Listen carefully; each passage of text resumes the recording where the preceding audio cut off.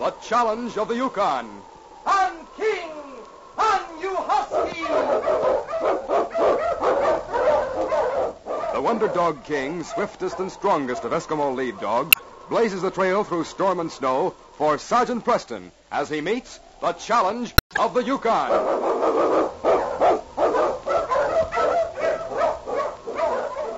Sergeant Preston was typical of the small band of Northwest Mounted Police who preserve law and order in the new Northwest country, where the greed for wealth and power led to frequent violence and bloodshed. But in spite of the odds against them, Sergeant Preston and his Wonder Dog King met that challenge, and justice ruled triumphant.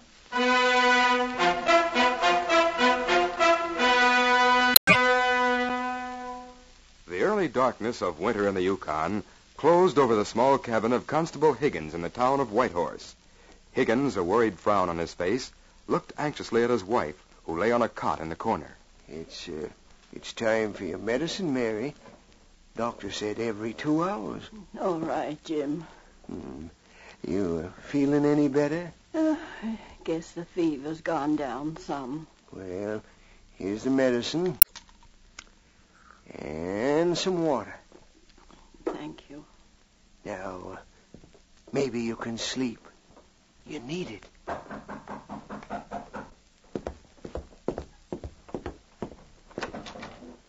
Howdy. You, uh, Constable Higgins? Uh, yes. Come in. I can't come in. I'm Corporal Wilson, Northwest Mount Police. I have two prisoners here that I'd like to put in your custody for the night. Well, I'll be right with you, Corporal. I'll wait out here. I've got to go down to the jail, Mary. Think you'll be all right by yourself? Sure, Jim. Bundle up. It's a bad night. No, I won't be long. Some prisoners have to be locked up for the night. Take the lantern, Jim. All right.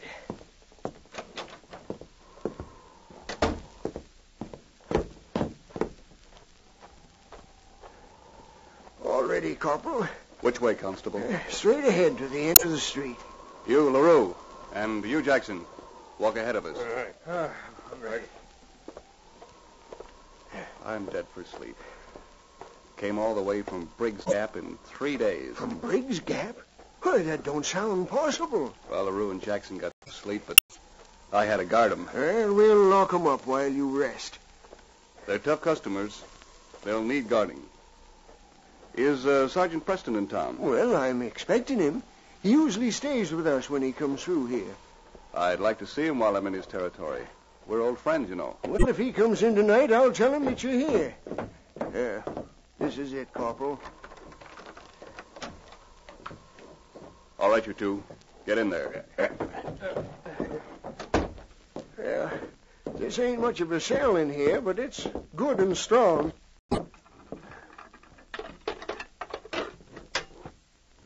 All right, in you go. Right.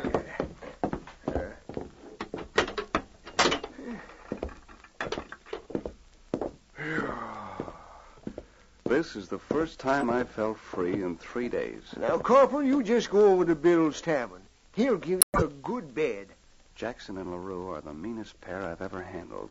Tricky, vicious, I'll violent. watch 'em. Well, thank you, Constable. I'll go and get some sleep. Uh, good night, Wilson. Good night. I'll uh, light the fire in the stove, boy. Never mind the fire. We're starving. We have nothing hot for a long time. So keep. Well, if you'd rather eat than get warm, I'll get some food for you. Sure wouldn't like it. You can't let us starve. No, you're right. I'll run over to the house and bring you something. LaRue, we we gotta get out of here. This is the first time we've been out of that Mountie sight. We better make the best of it. We. Anything you say, Pete. We're breaking out the same way we did in British Columbia. When he passes them to the bars, I grab his hands and you grab his throat.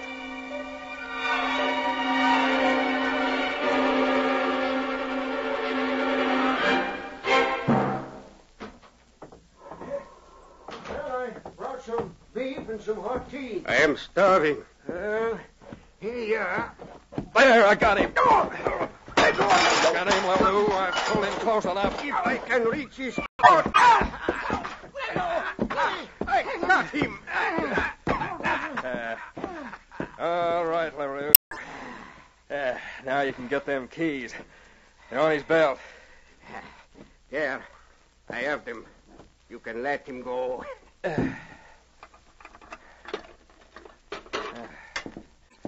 Get the old man's gun, LaRue.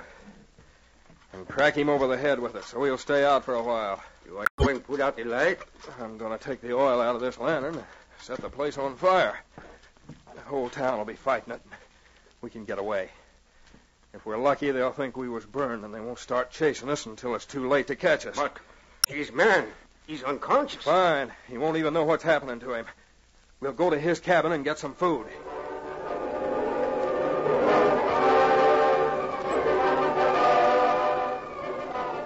Shortly after Jim Higgins left his cabin with food for the prisoners, Sergeant Preston drove up with his dog team. Ho, King! Ho, you husky!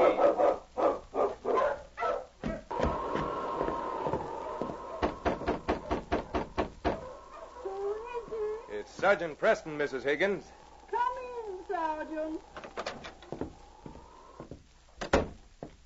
Sorry, I can't get up. I've been sick for two days. Oh. Well, I shouldn't have disturbed you. Oh, you didn't. We're always glad to see you. We were expecting you for the night. I won't plan to stay here if you're ill. Why, Sergeant, you're just like our son. You're no trouble. The back room is empty and ready for you. Where's Jim?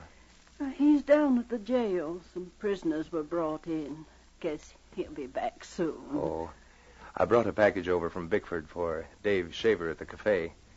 I guess I'll go over now and give it to him and stop by at the jail afterwards.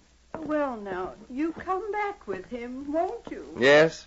And I'll leave my dog team here and unpack when I get back with Jim. Come on, boy. You come with me.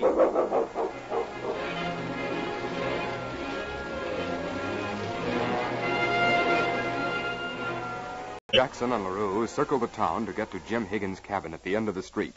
As they crept toward it in the darkness, one of the huskies hitched to Preston's sled, raised his head, and barked. Listen. There's dogs in front of this cabin. Can you see in the window? We, Is there anybody there? nobody's there but the woman. Wait. I'm going to have a look in front. Wait. LaRue, We? look. It's a dog sled all packed and nobody with it. Eh, maybe we don't have to rob these cabins. Come on. We're taking that sled. Listen. Someone spotted the fire. Come on, we're getting out of here.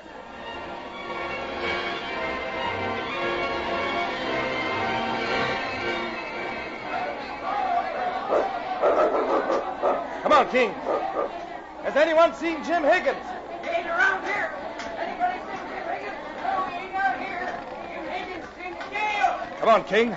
We're going in after him. Look out, Preston. That roof bed came in. Find him, boy. The smoke. Find him, King. I can't see. You got him, King? All right, boy. Out. I'll bring him. There he is. Look up him. Uh, we'll take him over to your cabin, Ned.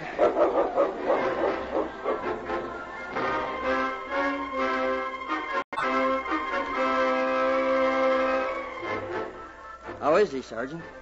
He's had a bad crack in the head. Falling timber must have hit him. Uh, yeah. Uh, I think he's regaining consciousness. Uh, Jim. Jim, can you talk to me? Get him. Prisoners. He's worried about the men he had locked up. They didn't have a chance. You mean there was men in that jail? Yes. The whole cell was a roaring inferno. No. No. Is Sergeant Preston? Oh, hello, Preston. Oh, Corporal Wilson. I didn't know you were in town. Well, those are my prisoners in that jail. What happened to them? I'm afraid they're dead, Wilson. Burned to dead. Burned to death. No. Gone. What's he trying to say? Uh, what is it, Jim? What did you say? Prisoners. Escaped. Escaped. Sergeant, that's what happened. They got out and set fire to the jail. Dead. Yeah? Take care of Jim. He'll be all right. Just keep him quiet. All right, Sergeant. Now, uh, come on, Wilson. My dog team is ready, and we can't lose any time. Come on, King. Go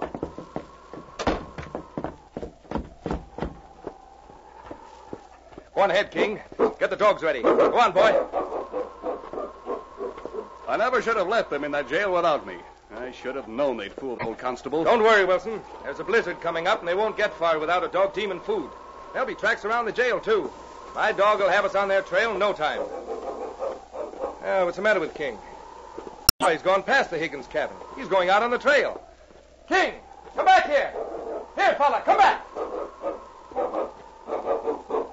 Why, why, the team is gone. Gone. Do you think that they stole? Stolen my dog team. Preston will never hear the end of this from headquarters. Two prisoners escaped from me and steal your dog team. I'm sorry, Preston. It's all my fault. Oh, they haven't much of a start, and there's a blizzard coming up. Come on, Wilson. We'll carry our packs and get after them right away. That's King's team, and taking it may be the worst mistake they could have made.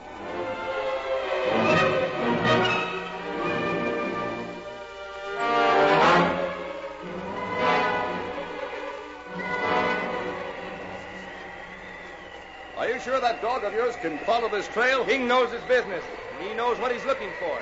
He'd have got him by now if he didn't have to wait for us. Look, he's going that way. Yes, my team is used to a lead dog. They may get off the trail without him. It's hard to keep any sense of direction in this blizzard.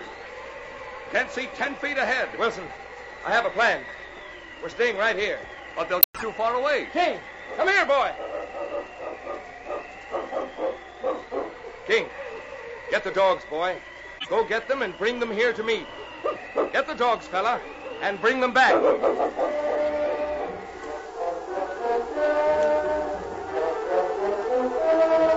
Arctic night was black and cold as Jackson and LaRue urged the dog team on desperately.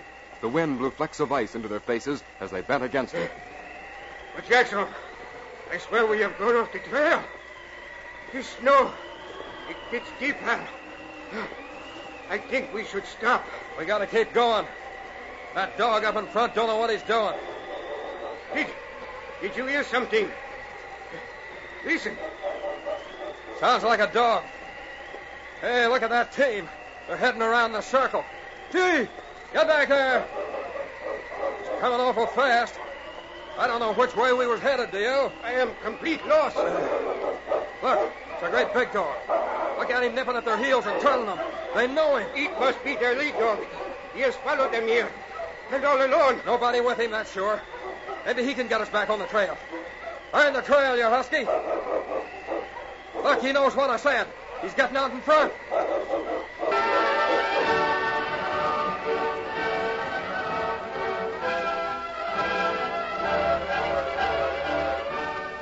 Preston and Wilson waited back on the trail, hidden behind a huge drift of snow, stamping their feet to keep warm. As the hours dragged by, Wilson grew skeptical. I don't believe you do it, Preston. It doesn't sound possible that he can understand you. Ah, patience, fella. King always obeys orders. Listen, that's King now. Get down here behind this drift. Have your gun ready. These men are desperate. Get ready, we'll surprise them. You take the one in the handlebars. I'll get the other one. Now, put up your hands. You're under arrest. All right, LaRue, up with them. This time I'll shoot at your slightest move. How did you know? Where did you come from? All right, I give up. Two mounties. Get the handcuffs on him, Wilson. We're taking both of you back. Good work, King. I've heard about that dog of yours, but I had to see it to believe it. There. We're ready to go. All right, march ahead, you two. On, King! On, you husky!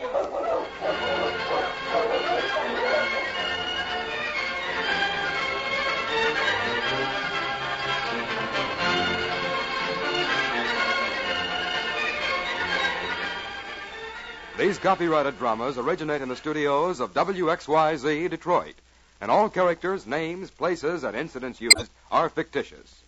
They are sent to you each week at the same time and reach you from our transcription studios. Al Neal speaking. This is the Michigan Radio Network.